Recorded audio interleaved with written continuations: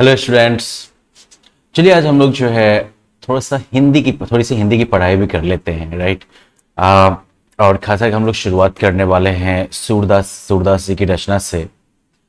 अब इससे पहले कि हम उनकी रचना को पढ़ें उनके काव्य का आनंद लें और उसका भावार्थ समझें उससे पहले जो हम लोग थोड़ा सा सूरदास के बारे में जान लेते हैं।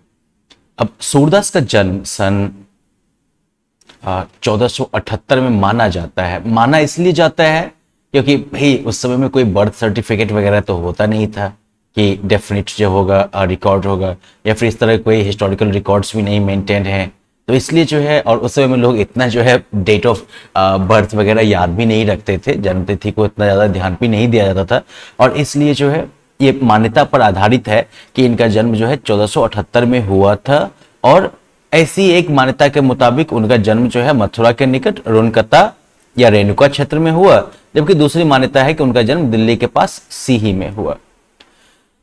सूरदास जो थे, वो महाप्रभु वल्लभाचार्य के शिष्य थे, और जो अष्ट छाप जो कवियों का एक समूह था, उसमें वे सर्वाधिक प्रसिद्ध माने जाते थे। अब यहाँ पर जो है, एक चीज़ विशिष्ट है कि ये अष्टछाप क्या है? तो अष्टछाप कवि जो थे आ, कह सकते हैं कि ये महाप्रभु श्री वल्लभाचार्य जी और उनके पुत्र श्री विठल नाथ जी द्वारा स्थापित जो है ये आठ भक्तिकालीन कवियों का एक समूह था जो कि विभिन्न अपने पद एवं आई मीन और कीर्तनों के माध्यम से जो है भगवान श्री कृष्ण की विभिन्न लीलाओं का गुणगान करते थे। अष्टछाप की स्थापना जो है वो 1565 के आसपास में मानी जाती है। इसमें जो है कुंभन दास थे, सूरदास थे, कृष्णदास थे परमानंद दास थे, गोविंद स्वामी छीत स्वामी, नंददास व चतुर्भुज दास थे। तो ये सभी जो है आपके मुख्य कवि हो गए अष्टछाप कवि और सूरदास जो थे, वो इनमें से सबसे प्रमुख कवि माने जाते हैं। वो मथुरा और वृंदावन के बीच गऊ घाट है, उसमें वहाँ पर रहते थे और वहाँ पर श्रीनाथ जी के मंदिर में भजन कीर्तन करते थे। पंद्रह में पारसौली में उनका निधन हो गया। सूरदास की जो सर्व लोकप्रिय रचनाएँ रही है उनमें तीन ग्रंथ रहे हैं सूर सागर साहित्य लहरी और सूर सारावली। और इसमें से सूर सागर जो है सबसे अधिक लोकप्रिय रहा। सूर की कविताओं में जो है आपको आ, खेती वो पशुपालन करने वाले भारतीय समाज का जो दैनिक चित्र है वो आपको देखने को मिलता है। मनुष्य की जो स्वाभाविक आदतें हैं, वृत्तियाँ हैं, उनका चित्रण आपको इनकी कविताओं में मिलता है। लेकिन सबसे प्रमुख बात जो आपको ध्यान रखना है कि सूर्य की कविताओं में वात्सल्य रस और श्रृंगार रस का जो है, काफ़ी महत्वपूर्ण स्थान होता है। अब सबसे पहले मैंने आप लोगों को जो है, हिंदी साहित्य में जो विभिन्न रस हैं उनके बारे में ही मैंने आप लोगों को जो है एक डॉक्यूमेंट भी भेजा था और साथ साथ जो है एक आ, मैंने जो है लेसन भी उस पर शेयर किया था। तो सुर की कविताओं में जो है वात्सल्य और श्रृंगार रस जो है ये काफ़ी जो है बहुलता में मिलता है। सुर जो है अपनी रचनाओं में कृष्ण और गोपियों के प्रेम का जो वर्णन करते हैं वो उसे एक मानवीय रूप देते हैं ठीक है? और सूर ने जिस तरह से मानव प्रेम की गौरव गाथा कि, कि कह सकते हैं कि गौरव गा, की गौरव गाथा को रचा है। इससे उन्होंने जो है सामान्य मनुष्य के हीन भाव को खत्म किया है। जीवन के प्रति उनके प्रेम को पैदा किया है। सूर्य की कविताओं में आपको जो है ब्रज भाषा का प्रयोग मिलता है। और कह सकते हैं कि जो लोकगीतों की परंपरा रही है उसी की जो है ये एक ज़्यादा जो है उत्कृष्ट कड़ी के तौर पर इसे आप देख सकते हैं। अब यहाँ आपकी पुस्तक में जो है सूर सागर से ही सूर सागर के भ्रमर गीत से चार पद लिए गए हैं। तो इसका संदर्भ ऐसा है कि कृष्ण जो थे वो मथुरा जाने के बाद स्वयं लौटकर नहीं आए और उन्होंने उद्धव के ज़रिए जो है गोपियों के पास संदेश भेजा था। उद्धव ने निर्गुण ब्रह्म और योग का उपदेश देकर गोपियों की वीरा वेदना को शांत करने का प्रयास किया। अब यहाँ पर जो है आपको ये ज़रूर ध्यान रखना होगा कि जब कृष्ण जब वृंदावन में थे तो वहाँ पर जो है गोपियाँ गोपियाँ जितनी भी थी वो कृष्ण की दीवानी हुआ करती थी। कृष्ण और गोपियों की जो रासलीला है उस पर भी बहुत आ, बहुत ही जो है मनोरम काव्य काव्यों की रचना हो चुकी है है ना? तो अब ऐसे में जब कृष्ण जो है वो मथुरा चले जाते हैं जब तो उसके बाद जो है गोपियों से वो बिछड़ जाते हैं। गोपियाँ अब उनसे दूर हो गई हैं। तो ऐसे में गोपियाँ जो हैं वो विरह की वेदना का अनुभव कर रही हैं। विरह मतलब हो गया अलग हो जाने के कष्ट का अनुभव कर रही हैं। और ऐसे में कृष्ण जो है वो उद्धव के ज़रिए जो है संवाद भिजवाते हैं, संदेश भिजवाते हैं गोपियों को। और उद्धव जो है वो निर्गुण ब्रह्म और योग वगैरह का उपदेश देके कि ये संसार क्या है, माया है, मूर्त चीज़ों का कोई महत्व तो नहीं है। तो इस तरह का जो है उपदेश देकर वो गोपियों को बताते हैं कि कृष्ण से अलग होना जो है बड़ी बात नहीं है है ना? लेकिन गोपियाँ जो है, उन्हें वो ज्ञान का मार्ग नहीं पसंद है, उन्हें जो है प्रेम का मार्ग पसंद है। और यही कारण है कि उद्धव जब उन्हें वो दार्शनिक ज्ञान देना शुरू कर देते हैं, ठीक है ना? तो उन्हें जो है वो शुष्क संदेश जो है, रुखा ये संदेश जो है वो उन्हें पसंद नहीं आता है। तभी वहाँ एक भौड़ा आ जाता है। और यहीं से जो है भ्रमण गीत का प्रारंभ होता है। गोपियाँ जो है, वो भ्रमण के बहाने, भौड़े के बहाने ही जो है उद्धव पर व्यंग करती हैं। पहले पद में गोपियाँ यह शिकायत करती हैं कि यदि उद्धव खुद कभी प्रेम में बंधे होते, स्नेह के धागे में बंधे होते, तब जो है वो विरह की वेदना को अलग होने के, प्रेमी से अलग होने के कष्ट का जो है अनुभव कर पाते। लेकिन चूँकि वो कभी ऐसा हुए ही नहीं है तो उनको क्या पता चलेगा? दूसरे पद में जो है, गोपियाँ यह स्वीकार करती हैं कि उनके मन की अभिलाषाएँ जो है वो उनके मन में ही रह गई। और साथ ही साथ जो है कृष्ण के प्रति जो प्रेम की उनकी गहराई है, उसको भी इसमें अभिव्यक्ति मिलती है। तीसरे पद में जो है, वो उद्धव की योग साधना को करवी ककड़ी ऐसा बताते हैं। और अपना जो उनका एक निष्ठ प्रेम है एकदम से कृष्ण के प्रति, उसमें जो है अपना विश्वास प्रकट करती है। चौथे पद में वो उद्धव को ताना मारती है कि कृष्ण तो भैया जी अब राजनीति करने लगे। और अंत में जो है, वो उद्धव को भी राजधर्म का याद दिलाते हैं। नहीं, कि भाई हम भी जनता हैं, हमारे ऊपर भी ध्यान दिया कीजिए। तो चलिए ये रहा ये ये था कॉन्टेक्स्ट कर सकते हैं इन कविताओं का। अब जो है इन पदों का जो है हम पाठ शुरू करते हैं। तो यहाँ पर क्या है? उधो तुम हो अति बड़ भागी अपरस रहत स्नेह तगाते नाहिन मन अनुरागी। पुरैन पात रहल जल भीतर तारस देह न दागी। ज्यो जल माह माहंग तेल की गागरी बुंद न ताको ला, ताको लागी। प्रीति नदी मैं पाऊ न बोड़ियो दृष्टि न रूप परागी, सूरदास अबला हम भोरी, गुड़ चाटी ज्यो पागी। तो यहाँ पर जो है वो मूलतः जो है वो व्यंग करते हुए भी जो है वो उद्धव को उद्धव को जो है वो अपना संवाद सुना रही हैं।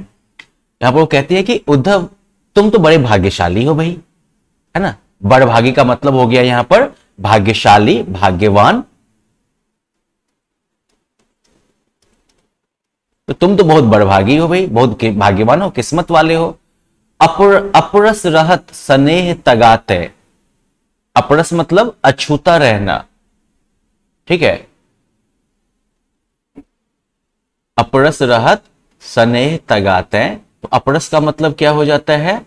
अछूता रहना। और तगा का मतलब हो गया धागा। ठीक है धागा कहो बंधन कहो। तो मतलब कि तुम जो है प्रेम के धागे से तुम जो है अछूते रहे हो। प्रेम के धागे से जो है तुम बंधे नहीं हो कभी भी। और इसलिए जो है ना ही मन अनुरागी। और इसलिए तुम्हारे मन में जो है प्रेम का जो है कोई जो है भाव ही नहीं है। तो तुम जो है बड़ी भाग्यशाली हो। है ना?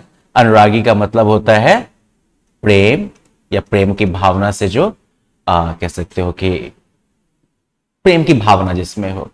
और फिर जो है वो उसको और ज़्यादा जो है तुलना करते हैं। पुरैन पात रहल जल भीतर, तारस देह न दागी। पुरैन का पात, अरे हमारे यहाँ वो भोज वगैरह में यूज़ करते हैं ना, कमल का पत्ता। तो कमल के पत्ते की खासियत क्या होती है? कमल का पत्ता जो है वो पानी में ज़रूर रहता है, लेकिन कमल के पत्ते पे आप पानी नहीं लगा हुआ देखिएगा, है ना? अब आप लोगों ने विज्ञान में पढ़ा होगा कि उसके ऊपर जो है वो मोम जैसे जो है, किसी पदार्थ का जो है एक परत लगा रहता है, इस वजह से उसके ऊपर पानी नहीं टिकता। लेकिन सबसे बड़ी बात क्या है कि कमल का पत्ता जो है वो पानी में डूबा रहता है, फिर भी उसके तन में जो है थोड़ा सा भी पानी का स्पर्श नहीं हो पाता है। ठीक वैसे ही जैसे कि उद्धव जो है, वो कृष्ण के पास मौजूद है, कृष्ण के सामने मौजूद है है ना? उसी तरह से जो है उसके बावजूद भी जो है, कृष्ण के प्रति प्रेम की जो है, एक बुंद उनमें नहीं जगी है, या कृष्ण जैसे व्यक्ति के साथ में रहते हुए भी उनके अंदर जो है प्रेम के, प्रेम का जो है एक बुंद भी नहीं समा पाया है। तो भाई, तुम तो बहुत किस्मत वाले हो, है ना? आगे कहते हैं ज्यो जल माह तेल की गागड़ी। तेल की गागड़ी? तो तेल का मतलब तो आप समझ ही गए, है ना? तो जैसे जल में जो है, जल के मध्य में अगर तेल का तेल का बर्तन अगर रख दिया जाए, है ना? तो उसमें जो है एक तेल में जो है एक बूंद भी पानी नहीं चिपक सकता है। है ना?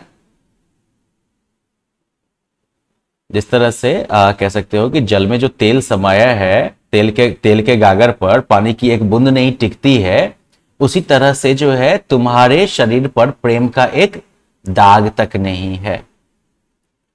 ठीक है?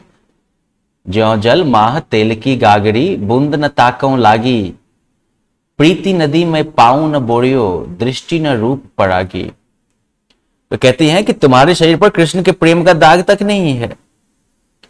वो आगे जो है, उस पर व्यंग करते हुए कहते हैं, ठीक उसी प्रकार जिस तरह से पानी के बीच में रहते हुए भी, जल के मध्य में रहते हुए भी, तेल के गागर पर, तेल के बर्तन पर जो है, पानी का एक बूंद नहीं टिकता है, उसी तरह से तुम्हारे शरीर पर जो है, प्रेम का एक दाग भी नहीं है। प्रेम का एक अंश भी नहीं है। तो ये व्यंग है।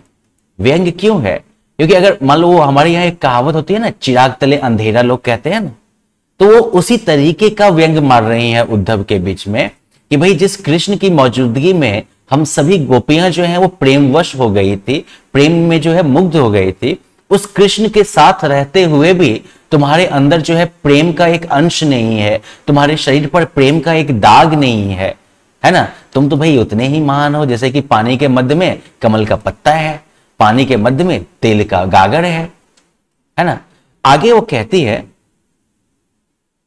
प्रीति नदी में पाऊ न बोरियो, दृष्टि न रूप पड़ागी अरे उद्धव, तुमने तो प्रेम की नदी में कभी पैर डुबाया ही नहीं।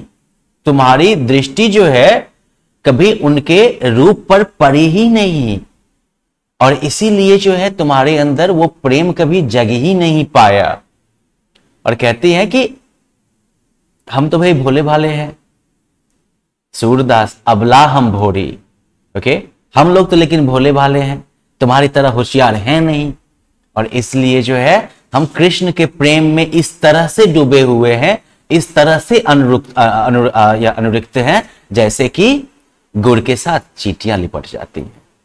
तो इस तरह से देखिए तो ये जो एक छोटा सा पद है लेकिन ये पद जो है एक तरफ़ जहाँ शुरुआती चार पाँच पंक्तियों में जहाँ वो उद्धव के ऊपर जो है ताबड़तोड़ जो है व्यंग्यों की बरसात कर देती हैं अंतिम पद जो है वहाँ पर जो है वो साथ ही साथ कृष्ण के प्रति जो उनका आ, उनके अनुरक्ति का भाव है जो उनके प्रेम का भाव है उसको भी जो है वो व्यक्त करती है जहाँ पर वो कहते हैं कि जहाँ पर जहाँ पर वो कहती हैं कि भाई आ, हम लोग तो भाई भोले भाली अबलाए हैं और हम तो कृष्ण के प्रेम में इस तरह से आसक्त हो चुके हैं जैसे कि चीटी जो है वो गुड़ के साथ लिपट जाती है।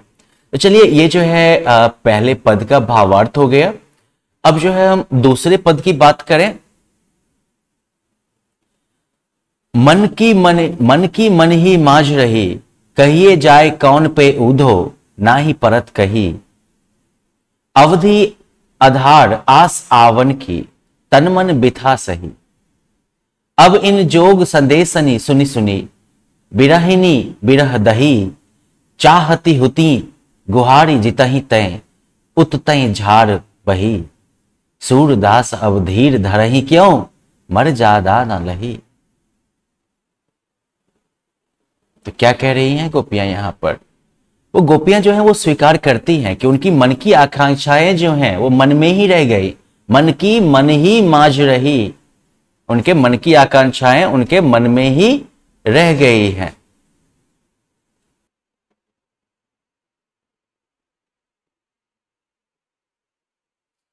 चलिए ऐसा करते हैं कि इस पद को जो है हम अगले लेसन में पढ़ लेते हैं। अभी इस बीच में जो है आप ऊपर वाले पद का जो है पूरा का पूरा भावार्थ लिखिएगा।